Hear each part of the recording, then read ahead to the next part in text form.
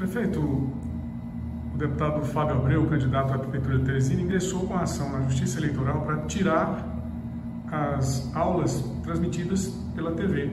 O que é que o senhor tem a dizer sobre? A gente lamenta esse tipo de ação feita pelo candidato. Nós todos sabemos da grande crise pandêmica que passamos e ainda estamos passando nesse ano em todo o planeta. E nós estamos buscando nas tecnologias uma forma de através dessas aulas, minimizar os danos para toda, toda uma rede né, que tem quase 92 mil alunos. Então, essa estratégia de fazer aulas através da televisão é uma forma de buscar preservar conhecimento né, e educação de toda essa meninada.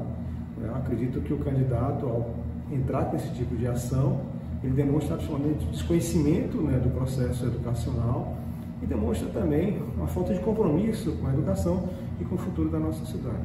Já houve um outro candidato que chegou a questionar os indicadores do próprio INEP. É, num debate da TV Meio Norte, ele chegou a dizer que a prefeitura poderia ter influenciado o Ministério da Educação sobre esses índices.